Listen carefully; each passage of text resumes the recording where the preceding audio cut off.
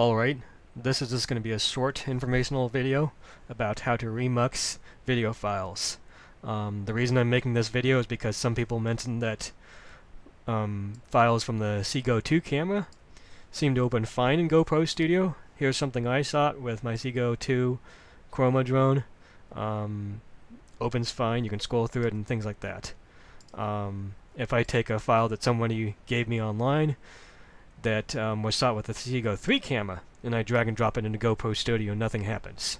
It just, it, it's like it doesn't know what to do with it. So, the fix for that is you go in and you go into it with Avidemux.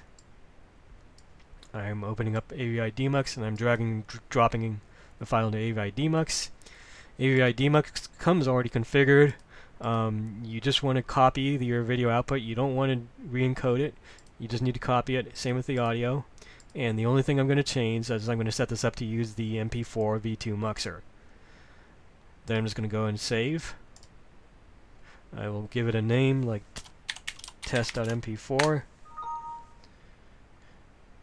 Everything's going to happen very quickly because it's not actually re-encoding anything. It's just remuxing it. As you can see, the file is the same size. There's really no difference between the file other than that it's probably fixed the wrapper or whatever problem this wrapper had.